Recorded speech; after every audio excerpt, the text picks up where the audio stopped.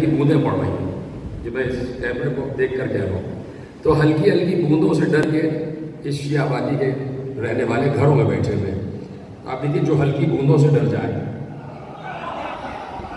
अब सोचिए कि अगर कभी तूफानी बारिश हो गई, समझ रहे हैं हल्की बूंदों से क्या मुराद है, तूफानी बारिश से क्या मुराद है? तो ये आलम है। इस वक्त होना चाहिए था कि भाई अब कहीं नहीं जा रहे तो हुसैन के घर में चले चलो देख रहे आप तो एक मिजाज बन गया। अभी यहाँ कोई आपका कौमी मजहबी लीडर बैठ के तकरीर कर रहा होता तो उसकी चटपटी बातें सुनने के लिए ये पूरा हॉल भरा हुआ होता। कि सियासत क्या हो रही है, चटपटी बातें क्या है? वो जवाब दिया गया है तो क्या हुआ है तो उसका क्या हुआ तो उसका क्या हुआ? आओ ज़रा चलते हैं, सुनते हैं क्या हुआ तो ये मिजाज है। इस मिजाज को ख़त्म करने की ज़रूरत है। मैंने इसीलिए तय किया था कि जिस वक्त गुस्ताखी हुई है मेरे साथ में इमाम निशान में, उसी वक्त मैंने नियत करनी थी कि जवाब इसका यह है कि इतने फ़जाइल पढ़ दो साथ में इमाम के कि उस गुस्ताख की गुस्ताखियाँ कहीं असफल साफिलीन में दब जाए। और चूँकि में इमाम की इमामत पर यकीन किए बगैर और उनकी नुसरत किए बगैर किसी का ईमान कामिल नहीं है तो जितने साहिबान मेंबर थे पाकिस्तान से, कराची से लेके खैबर तक सब की ज़िम्मेदारी थी कि सब एक ही मौजू रखते और वो मौजू होता अजमत औसाफ इमाम मूसी काजिम से सबको चाहिए था। नश्तर पार्क से लेके और किसी बड़े से बड़े मेंबर तक। सबसे बड़ी ज़िम्मेदारी नश्तर पार्क के मेंबर की थी कि वहाँ से जवाब आता कि पूरा अशरा इमाम मूसी काजिम पर पढ़ा जाए ये होती है नुसरत मासूम। नुसरत, ये नुसरत का लफ्ज़, ईमान और नुसरत, ये दोनों साथ साथ है। हम तो किस खाते में हैं? हम तो किस कतार शुमार में हैं? अल्लाह ने अंबिया से कहा था, इज़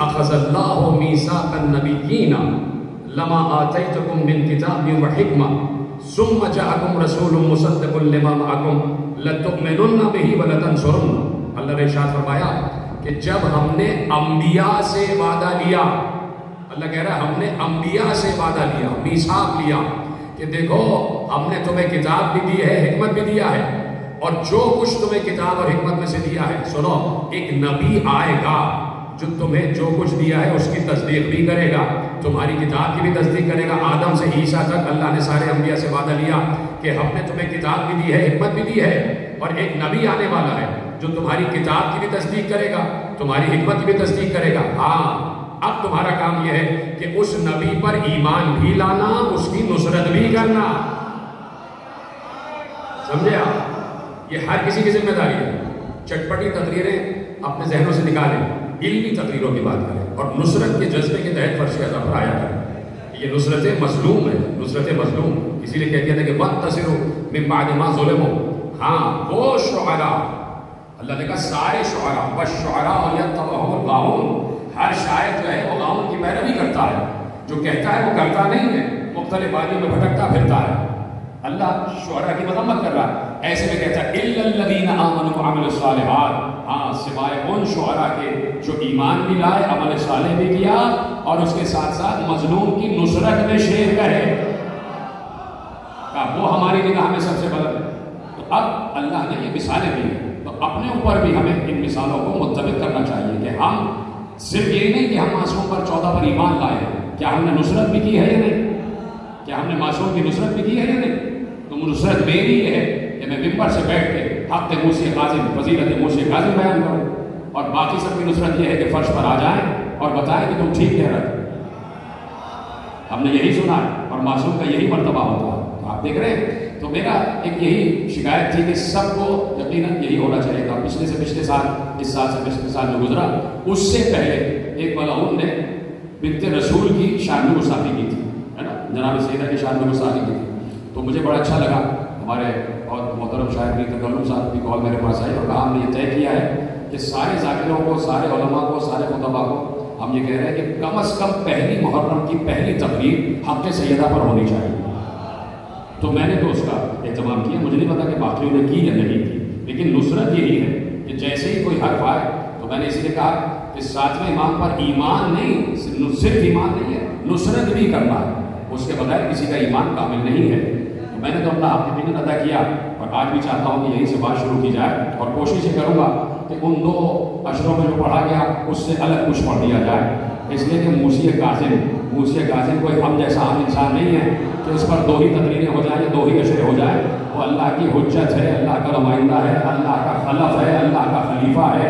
मनसूस मिन अल्लाह है, मखसूस मिन अल्लाह है। इल्म खुदा का वारिस है, इल्म खुदा का वारिस है, कुरान का वारिस है, रसूल का वारिस है। और आगे बढ़ते जाइए तो एक लाख तेईस हज़ार नौ सौ निन्यानवे अम्बिया का वारिस है। मूसे काजिम आदम का भी वारिस है नूह का भी वारिस है इब्राहिम का भी वारिस है मूसा का भी वारिस है ईसा का भी वारिस है मूसी काजिम मुस्तफ़ा का भी वारिस है अली का भी वारिस है हसन का भी वारिस है हुसैन का भी वारिस है मोहम्मद बाबर का भी वारिस है जैन का भी वारिस है मोहम्मद बाबर का भी वारिस है जाफ़र सादिक का भी वारिस है और खुद अपना भी वारिस है तो इतनी अजीम हस्ती है जिसका ज़िक्र खुद कुरान अपने अल्फाज का बयान कर रहा है कि वल काजिबीन अल गैस वल नास। कुछ लोग ऐसे भी हैं कि जो जानते हैं कि गुस्से पर काबू कैसे पाया जाता है।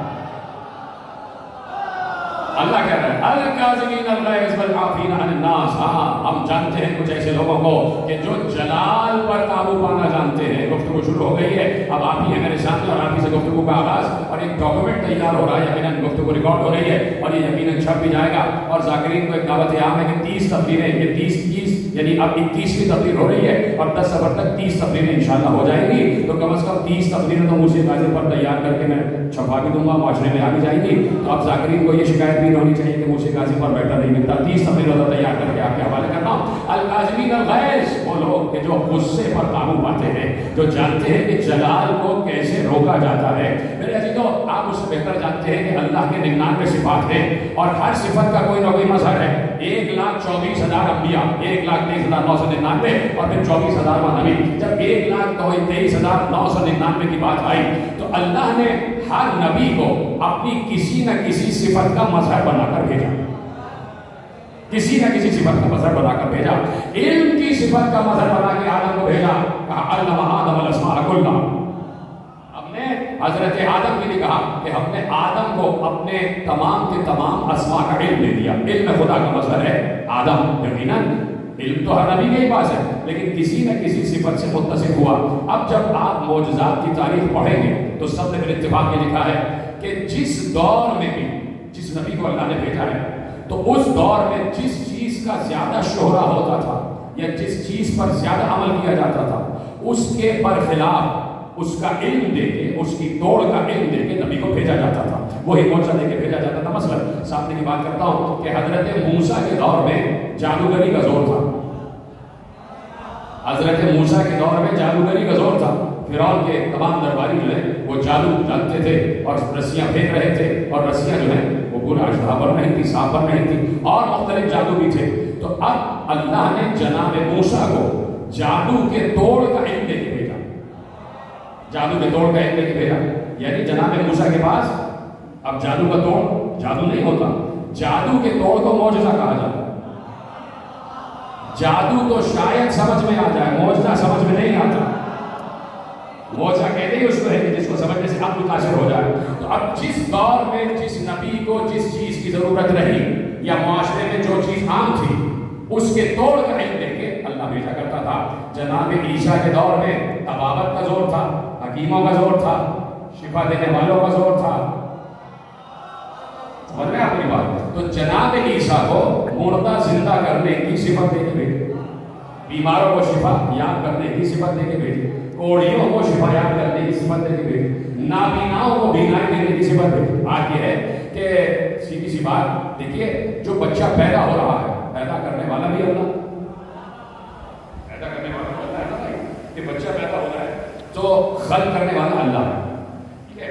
अब जो बच्चा, मसलन खुदा ना खास्ता, बीमार पैदा होगा या ऐप वाला पैदा होगा तो पैदा करने वाला तो अल्लाह। मसलन कोई बच्चा अगर अंधा पैदा होगा तो अल्लाह ने पैदा किया। अल्लाह कादिर मुतलक है, खालिद अजल अगर कोई बच्चा पैदा ही अंधा हो रहा, अगर कोई बच्चा पैदा ही कोड़ी हो रहा, अगर कोई बच्चा पैदा ही मबरूश हो रहा है, अगर कोई बच्चा पैदा ही बीमार हो रहा है तो उसे बीमार ओढ़ी नाबीना अल्लाह पैदा कर रहा कर रहा कि नहीं कर अब कोई मुल्ला ये नहीं कहता कि जिसे अल्लाह बीमार पैदा कर रहा है, किसी बंदे के पास कुत एक ऐसे है उसे शिफा याद कर देगा? है? भाई, अल्लाह जिसे बीमार पैदा कर रहा है। मसला कि भाई, अल्लाह मशरक से मगरब हवा चला रहा कोई है जो अल्लाह के मुकाबले आ जाए और उस हवा को रोक दे? भाई, अल्लाह सबसे बड़े कुवत है। मशरक से मगरब हवा चला रहा है तो अल्लाह का मुकाबला कोई नहीं कर सकता। अब अल्लाह जिस बच्चे को पैदा ही बीमार कर रहा है, एक बंदा है जो उसे शिफायात कर रहा है तो क्या उस बंदे को अल्लाह के मुकाबले पे तस्वुर किया जाएगा, या अल्लाह ही का नुमाइंदा तस्वुर किया जाएगा? जब अल्लाह ही दे रहा है तो अब जिसे अल्लाह मुर्दा कर रहा है की क्या मज़ाक उसे ज़िंदा करते हैं? किसी की क्या मज़ाक के उसे ज़िंदा करते हैं? अल्लाह मौत दे रहा है भाई। तो अल्लाह जिसे मौत दे रहा है, किसी बशर की, किसी बंदे की क्या मज़ाक कि उसे, वो ज़िंदा करते लेकिन अगर ईसा अल्लाह के मारे हुए बंदे को ज़िंदा कर रहे हैं तो ईसा मुकाबले में नहीं आ रहा है। ईसा खुद नहीं कह रहे कि मैं अल्लाह का बेटा हूँ। ये तो कसूर उनका है कि जिन्होंने कहा ईसा अल्लाह का बेटा है। अब अगर ईसा ये कह रहे हैं कौन बिस्मिल्लाह अल्लाह के हुक्म से ज़िंदा हो जा। तो अब ईसा अल्लाह ही हुक्म से ज़िंदा कर लेकिन बात यह है कि भाई अभी आता नहीं इस मंजिल पर, लेकिन बहुत जल्दी से आओ और वापस चले जाऊँगा। कोई बशर ऐसा भी है कि जो बशी रसूल है और वो मुर्दे को दोनों तरीके से ज़िंदा करता है। ये भी कहता है कि अल्लाह के हुक्म से ज़िंदा हो जा और ये भी कहता है, मेरे हुक्म से ज़िंदा हो जा कभी ठोकर मार के मुर्दे को ज़िंदा करता है, कभी नमाज़ पढ़ा के ज़िंदा को मुर्दा कर देता है। अब अगर अली की ये फजीलत पढ़ी जा रही है कि अली ने किसी मुर्दे को ज़िंदा किया है। और इस फजीलत के पढ़ने के बाद कोई अली को खुदा कहता। तो बात उसके खिलाफ की जाएगी कि खुदा क्यों कहा गया? इसके खिलाफ नहीं होगी कि मुर्दा ज़िंदा करने की सिफत ही ना पढ़ी जाए इस सिफत के खिलाफ बात नहीं होगी। इस वस्फ के खिलाफ बात नहीं होगी। इस मोजे के खिलाफ बात नहीं होगी। कि ये मोजा ही ना पड़ा भाई गिरेबान तो उसका पकड़ा जाए ना जिसने अली को अल्लाह कहा अली की फजीलत पढ़ना तो बंद नहीं होगी। अली के फजाइल पढ़ना तो बंद नहीं होंगे। इसी तरह मैं कह रहा हूँ कि आज मोहम्मद के फजाइल कम नहीं किए जाएँगे। जो फजाइल सुन के बहक रहा है उसे वापस लेके आओ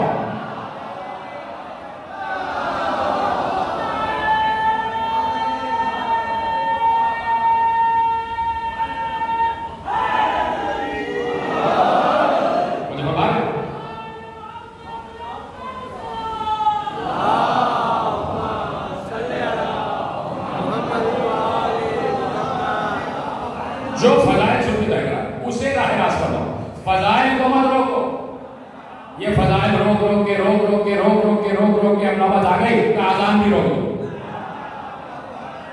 अब आप भी रोके आपको सबको बोलना चाहिए इस बात आप फिर फिर नहीं बोलो अब फिर सब रोको यही चुप यही खामोशी किस नहज तक ले आए कि दूसरा कह रहा है कि भाई इनमें तो पाँच लोग यकीन करते हैं अली तो बाकी तो पिछानवे यकीन ही नहीं करते इसलिए कि जब अली दुल्ले की बात की जाए तो पीछा तो चुप रहते पाँच बोल रहे होते उन्होंने कहा इनको पूरे के पूरे को तो यकीन ही नहीं है बनकर उनकी आज़ाद में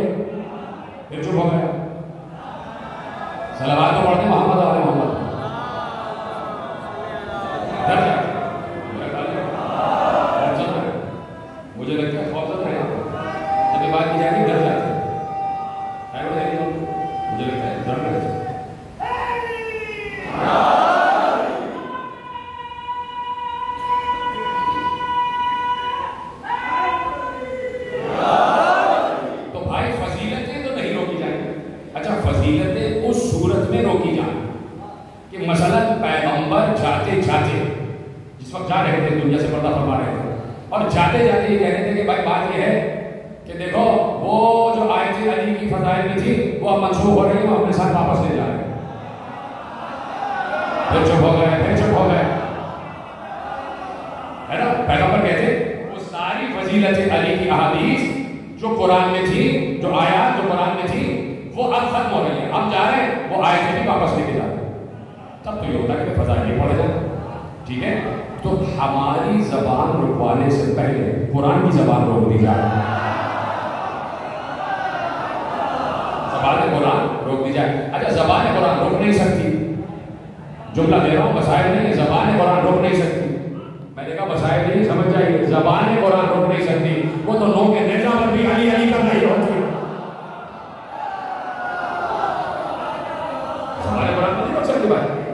तो अब देखिए कि हर मासूम ने इस ज़िक्र पर सराहत की। हर मासूम ने इसलिए नहीं कि उनको ज़िक्र है, मेरे तुम्हारे ज़रूरत है, मेरे तुम्हारे ज़िक्र की नहीं, कोई ज़रूरत नहीं है। इसलिए कि अल्लाह जिनका नाम ले रहा हो, अल्लाह जिनका तस्करा कर रहा हो, अल्लाह जिनके बस बयान कर रहा हो तो क्या ज़रूरत है कि किसी और की ज़रूरत पड़ जाए कि अगर तुम भी हमारा ज़िक्र करो? ये नहीं है। बात यह है कि अगर होंगे तो समझ आएँगे बात यह है कि अगर कोई साहब जा रहे हैं और सामने कीचड़ पड़ा हुआ है और दूसरे साहब की तरह बच के जाइएगा तो वो अपने लिए नहीं रहे आपको बचाने के लिए कह रहे है। अगर कहा जा रहा है, अली अली करो तो उनकी ज़रूरत नहीं है तुम्हारी शराफतों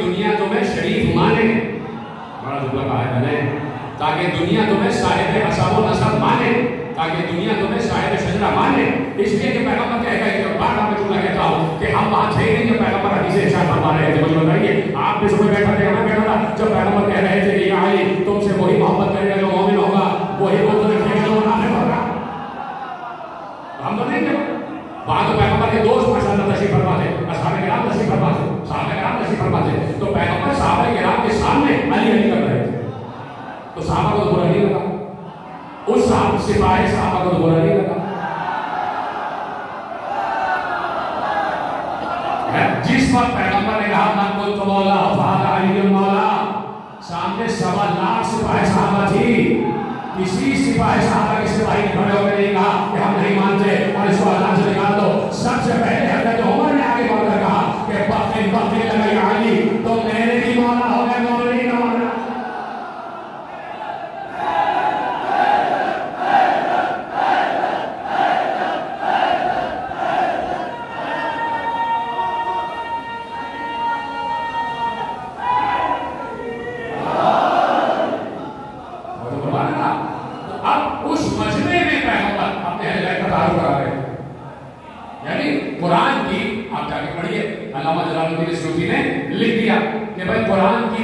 सौ तेरह आयतें तीन सौ तेरह आयत। का तीन सौ तेरह आयतें वो है, जो सिर्फ़ और सिर्फ़ और सिर्फ़ और सिर्फ़ अली कुछ हो जाते सारे नहीं अच्छा होता। मैं आप ही लोगों को जो तो पढ़ रहा हूँ भाई, और किसी को पढ़ रहा हूँ पढ़ रहा हूँ। अगर कोई है उधर का तो कर हम तो हुसैन के घर में बैठ के हुसैन के का कर रहे हैं।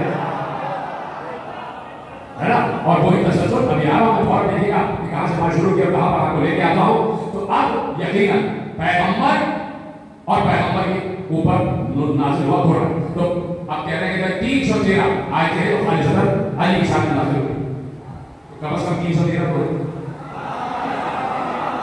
ये तीन सौ तेरह के मदद से पता चला कि जंग बदल भी हुई और जब जंग बदल में तस्वीर आता है तो ये बात कहनी पड़ती है कि आधे लश्कर को कुफार के आधे मरे को आधे लश्कर ने मारा। और बाकी जितने थे उसे तो ना ही हमारा। उसे कहना पड़ता तो आप देखिए इशारे पर आप देना इशारे पर आप देना अरे अली ने कहा था कि पूरा का पूरा कुरान हमारे ही मज़ा में हाजिर हुआ है। इसमें अकेले से बदमाश की सीख तक तामीलात उठा के पढ़ते चले जाओ। हर आयत के बातचीत में हम ही नज़र आएँगे। आए के बाद में हम ही नज़र आएँगे। और अगर कहीं आज़ाद का भी तस्करा है तो वो भी हमारे ही दुश्मनों के लिए है और उसी के तो आप ये है अली और ये है ज़िक्र अली और ये है ज़िक्र फजाइल है और इसकी सराहत की है। हर मासूम अपनी तरफ़ से नहीं है। ये अली अली जो मेंबर हो रहा है, ये याद रखिए वो महसूस कीजिए कि अपनी तरफ़ से नहीं हो किसी खतीब ने खड़े होकर आज से दो ढाई सौ साल पहले अली अली का मशहूर नहीं किया। अली अली शुरू हुआ नदीर से, बल्कि उससे भी पहले। जब हाल में अलस की बात हो रही। अलस तो मेरा कौन जब हमारे जिसम नहीं हमारी रूह है और उन रूहों को सबकी रूहों को सलाम की शक्ल में अल्लाह ने आदम के सूर से निकाला गया सब जमा किया गया। और अल्लाह ने कहा, अल्लाह अलग सबर करो क्या मैं तुम्हारा रब नहीं? चुप हो गया। देखिए, बात ये है कि अली जा रहे हैं और उमर साथ साथ है। दैनिक की बात आपके हवाले करो ये जा रहे साथ साथ है। सुबह की नमाज़ में भी वक्त है। अली तहज घर पर पड़ी और निकले और जा रहे अभी अजान देंगे अली जाके मस्जिद गुफा में। ऐसे में किसी गली से होते हुए गुजरे तो कहीं किसी की छत से कुरान पढ़ने की आवाज़। बड़े अच्छे लहर में कुरान की तिलावत कर रहा बड़े खूबसूरत लहर में, बड़ी अच्छी आवाज़। बड़ा अच्छा कारी था। बड़ा खूबसूरत लहर से तिलावत कर रहा था। तो अब गुजर रहे थे उस घर के सामने से तो कम्बर कहते हैं कि मुझे उसका लहर बहुत अच्छा लगा। तो मैंने सोचा कि काश के मौला कुछ देर रुक जाए तो मैं इसकी आवाज़ मजीद सुनूं। इसकी मेरा सुन लो, इसकी तिलावत सुन लो। अभी मैंने सोचा था कि मेरा मौला मेरे के कहता कम्बर इसको ये तिलावत कोई फ़ायदा देने वाली नहीं है। इसको ये तिलावत कोई फ़ायदा देने वाली नहीं कम्बर कहते बैठ क्या क्या कि दरअसल बात कम्बर तो आरिफ है ना आरिफ हो तो नाम का लाओ नाम का आरिफ हो आखिर निर्माण करता हो मारिफत करता हो आरिफ है ना तो सबक है कि मौला ने मेरे दिल की बात समझ तो अब चुप हो गए साथ साथ चले लेकिन कहते दिल में सवाल था मौला ने अजान दी नमाज़ हुई नमाज़ खत्म हो गई और उसके बाद लोग सवाल पूछने लगे तो कहते हैं कि मैंने ये मौका गनीमत जाना कि मैं जरा पता तो करूँ कि इस कारी में ऐसी क्या बात है। इसलिए कि हमने इसे पहली मरतबा सुना रोज हम यहाँ से जाते इसकी आवाज़ पहले कभी सुनी? न मौला ने सुनी, न मैंने सुनी। कहते कि मैंने पूछने चला कि देखो हुआ क्या और ये कारी है कौन? कहा मौला वहाँ मसूद थे, मौलाना ने मुसाफे हैं सवाल के जवाब है और मैं आगे उसके घर के सामने। आगे खड़ा हुआ था, वो नीचे आ गया। सलाम, दुआ हुई। तो मैंने कहा, बहुत अच्छे रहने आप कर रहे थे। तो ये बताइए कि कुछ सवाल थे आपसे आप हमारे में कहा कि ये बताइए कि तोहीद के बारे में कुछ बताइए तोहीद खुदा के बारे में तोहीद खुदा के बारे में उसने कहा है होता है खालिद है, सर। उसकी ये सिफत है, वो सत्तार है गफ्फार है जब्बार है, बहार है सबूर है, शकूर है वली है खमीर है, अली है, सब कुछ है। सारे उसने बात बयान कर दिए। और कहा, अशहदु अल्ला इलाहा इल्लल्लाह कहे बगैर किसी का ईमान कामिल नहीं है। और वो कादिर मुतलक का कहना मेरा रब खबर कहते अच्छा मुझे इत्मीनान हो गया। जब बहुत बातें हो गई तौहीद पर। मैंने आप ये बताइए कि तौहीद जिनके ज़रिए हम तक पहुँची है। जाते जाती मतलब उनके बारे में कुछ बताइए, उनको कुछ बताए बताइए। कुछ उनके बारे में बताइए कभी अशहदु अल्ला मोहम्मद रसूलुल्लाह कहे बगैर ईमान कामिल नहीं होता। खादम नबीन है, सारे औलाद है मकसद रसूल कायनात है। उनका साया नहीं था, और ये और वो सारी फजीलत बयान और कहते हैं नाम हो गया। अच्छा ये बताइए कि उनका एक वसी है वज़ीर है अली के अभी तालिब जरा उनके बारे में कुछ बताइए। वो कह रहा है कि, भाई, अल्लाह अल्लाह करो, मोहम्मद मोहम्मद करो। अली हम और तुम जैसे हमसे इंसान उनकी क्या बात करना? उनकी क्या बात करना? और कहते हैं खुदा हाफिज कहा, वापस पलट आया। अभी मैं मस्जिद गुफा के दरवाजे से दाखिल हुआ था कि अली ने वहीं से सहज से खड़े होकर कहा अंबर तो मैं तुम्हारे सवाल का जवाब मिल गया?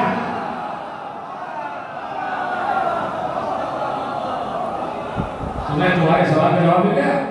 अंबर कहते हैं, मैं आगे हो सारा मजमा ठटक के देख रहा है, क्या बात मैंने कहा, मौला, ये नौवालिद है। ना मैं इससे मिला हूँ, ना आप पहले इससे मिले हैं। गुफे में नया वालिद और नया आया है। कैसे मालूम हुआ कि इसके दिल में आपकी मोहब्बत नहीं। आपको कैसे मालूम हुआ कि इसके दिल में आपकी मोहब्बत नहीं? सुनेगा ये क्या जवाब दिया? के लिए याद आपने अभी तक। जिसे याद है, उसको याद आ गया होगा। वो जो हमसे वादा लिया गया था, याद करें जहर, आपसे इतना तो कभी होना चाहिए कि भाव हमसे जो बातें लिए गए थे, वो याद आ जाए। क्या मौला ये तो वालिद है इसको तो कभी सुना ही नहीं, इसको तो कभी देखा ही नहीं। आपको कैसे पता चला कि इसके दिल में आपकी मोहब्बत नहीं? का सुनो। नंबर, जब अल्लाह ने तमाम अरवाह को जमा किया।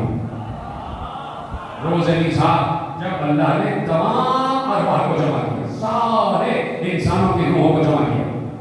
और जब सारी रूहें जमा हो गई तो अल्लाह ने सब पर अपनी तौहीद पेश की।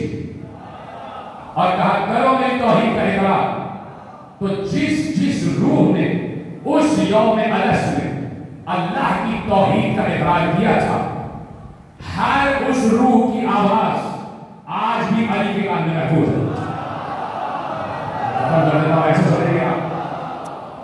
हर उस रूह की आवाज़ आज भी अली के कान में महफूज है। अल्लाह ने अपनी तौहीद पेश करने के बाद मुस्तफ़ा की रिसालत पेश की, सारी रूहों के सामने और का इकरार करो, मोहम्मद की रिसालत का। तो जिस जिस रूह ने उस रोज मुस्तफ़ा की रिसालत का इकरार किया था, हर उस रूह की आवाज़, आज भी मेरे कान में महफूज है। ऐसे है ना ये अली की फजीलत है। यानी आप तस्वुर नहीं कर सकते, अली। अली कहते आज तक हर रूह की आवाज़ मेरे कान में महफूज है। कहा कि तौहीद और रिसालत के इकरार लेने के बाद अल्लाह ने मेरी विलायत पेश की। इस पर सबको बोलना चाहिए सब चुप इसलिए तो कहा है कि भूल गए सर मुझे तो याद है वहाँ थे।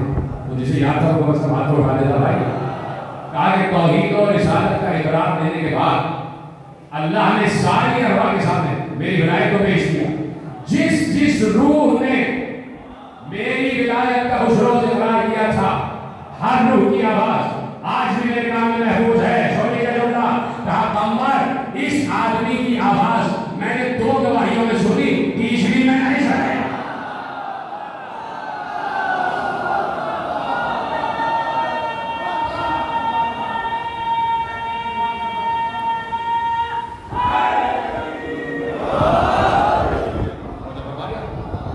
तो ये ज़िक्र अदली ज़िक्र है अदली ज़िक्र है और हर मासूम ने इसकी सराहत की है और सराहत के साथ बयान किया है तो अब सातवें इमाम का दौर है और एक बहुत बड़े बुज़ुर्ग है कहा कि ये अपनी तरफ़ से नहीं होगा। इसीलिए मैंने जहमत दी थी और अब मैं उसकी दलील आपके हवाले कर रहा हूँ। मौजू यकीन आपके हवाले मौजू शुरू हो चुका है। कि ये कब से है और इसकी सराहत कहाँ से की गई है?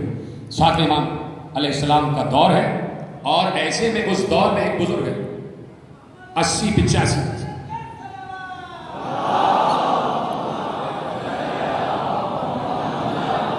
अस्सी पिचासी बरस का उनका सिन है। एक एक लफ्ज गौर से सुनिएगा। और बहुत अहम तरीन किताब से रिवायत आपके हवाले कर हमारे यहाँ की बहुत अहम तरीन किताब किताब का नाम वसूल काफ़ी। पहुँच गई बात। यकीन आ गया? आप सुनेंगे सही से? यकीन कर लिया आपने? हसन बिन अब्दुल्ला बहुत बड़े बुज़ुर्ग अस्सी पिचासी बरस का उनका सिर। लिखा यह है कि तकवे में, परहेजगारी में, इबादत में इतात में सबसे बढ़कर उनका तकवा मशहूर, उनकी परहेजगारी मशहूर उनकी इबादत मशहूर, उनकी इतात मशहूर, उनका तबलीग करना मशहूर, नहीं अनिल मुनकर, अम्र बिल मारूफ मशहूर। नमाजी आदमी, रोज़ेदार आदमी, परहेजगार आदमी, ज़क़़त देने वाले, हज करने वाले, जिहाद करने वाले, इन तमाम चीज़ों पर आमिर। इतने बड़े परहेजगार और मुत्तकी बुज़ुर्ग, यानी नमाजी भी हैं और तबलीगी भी हैं।